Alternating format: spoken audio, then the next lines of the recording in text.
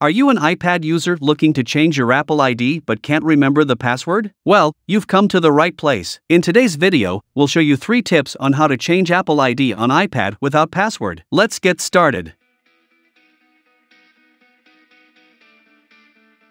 In the first tip, we will show you how to change Apple ID on iPad in Settings if you remember the password. On your iPad, go to Settings to tap on your Apple ID. Scroll down to find the Sign Out button. Tap on it and enter your passcode to sign out of your account. Then, sign in to a new Apple ID in Settings. In the second tip, we will show you how to change Apple ID on iPad in App Store.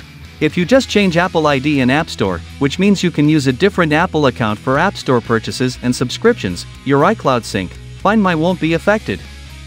Now, let's tell you how to change. Run App Store on iPad. Tap on the profile on the top right corner. Scroll down the screen to tap on the Sign Out button. Then, sign in to a new Apple ID in App Store. In the last tip, we will show you how to remove Apple ID from iPad without password. Run AnyUnlock on PC or Mac, select Unlock Apple ID feature.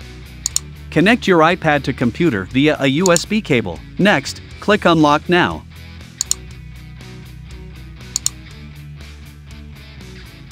When the process is completed, set up your iPad and done.